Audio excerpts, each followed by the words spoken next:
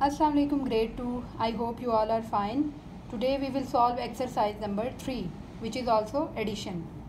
ये साइन से हमें पता लग रहा है कि ये एडिशन के क्वेश्चंस हैं और इनको हमने सॉल्व करना है।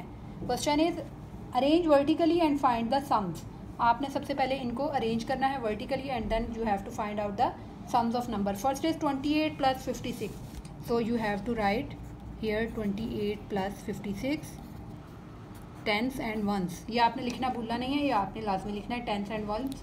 इससे आपको एडिशन करने में इजी, आसानी हो जाएगी। मिक्सअप नहीं होंगे number so this is twenty eight and fifty six आपने इन दोनों को ऐड करना है। Eight plus six is equal to fourteen we will write four here and one carry over ये एट और सिक्स को प्लस करके फोर्टीन आया था। आपने फोर नीचे लिखना है वन को नेक्स्ट नंबर पे कैरी ओवर देना है। Five plus two is equal to seven plus one eight so eighty four is answer next is forty six plus twenty seven